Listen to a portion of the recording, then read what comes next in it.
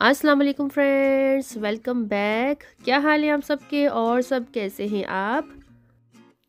और आज हम बनाएँगे चिकन और चने की दाल एक साथ, बहुत ही मज़ेदार। तो चलिए फिर इस रेसिपी को बनाना स्टार्ट करते हैं। सबसे पहले कुकिंग पॉट में शामिल कर देंगे कुकिंग ऑयल कुकिंग ऑयल को आप कम ज़्यादा कर सकते हैं। इसके बाद हमने शामिल कर दिए हैं दो अदद बड़ी इलायचियाँ, दो अदद दालचीनी के टुकड़े, तीन से चार अदद लौंग।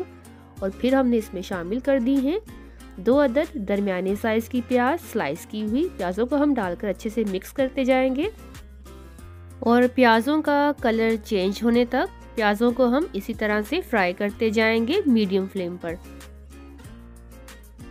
तो देखिए फ्रेंड्स प्याज यहाँ पर गोल्डन ब्राउन सी होना शुरू हो गई हैं और अब हम इसमें शामिल कर देंगे चिकन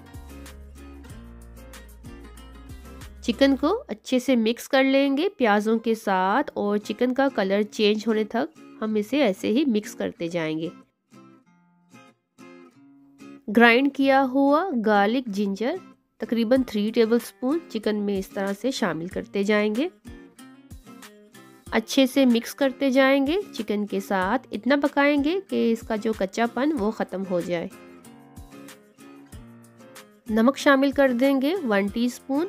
हल्दी का powder half teaspoon Kashmiri red chilli powder one teaspoon इसमें हम डाल देंगे। One teaspoon red chilli powder, सूखा सफ़ेद धनिया पाउडर वन टेबल स्पून और garam masala powder half teaspoon ये तमाम मसाले हमने चिकन में शामिल कर दिए हैं और इन मसालों को आप कम ज़्यादा कर सकते हैं फ्रेंड्स, अपने टेस्ट के हिसाब से। अच्छे से मिक्स कर लेंगे चिकन के साथ। चिकन यहाँ पर अच्छे से भून चुकी है। मसालों के साथ अब हमें चाहिए ग्राइंड किए हुए टमाटर। आप चाहें तो टमाटरों को इसमें काट कर भी डाल सकते हैं। तीन से चार अदर टमाटर को हमने इसमें ग्राइंड करके डाल दिया है। अच्छे से मिक्स करते जाएँगे। चिकन को भूनते हुए टमाटरों के साथ छः से सात मिनट हो गए हैं और चिकन बहुत ही अच्छे तरीके से भून चुकी है। बहुत ही ज़बरदस्त ये खुशबुएँ आ रही हैं। ये हमारे पास है तकरीबन एक कप उबली हुई चने की दाल, जिसे हमने थोड़ा सा नमक डालकर पानी में अच्छा सा बॉइल्ड कर लिया था। इसे हम चिकन में शामिल कर देंगे।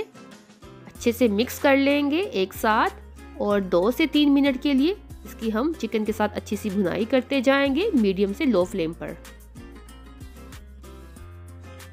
कसूरी मेथी वन टीस्पून इसमें हम शामिल करते जाएँगे, दो से तीन अदद शामिल कर देंगे। मोटी वाली हरी मिर्चें, मिर्चों को आप कम ज़्यादा कर सकते हैं।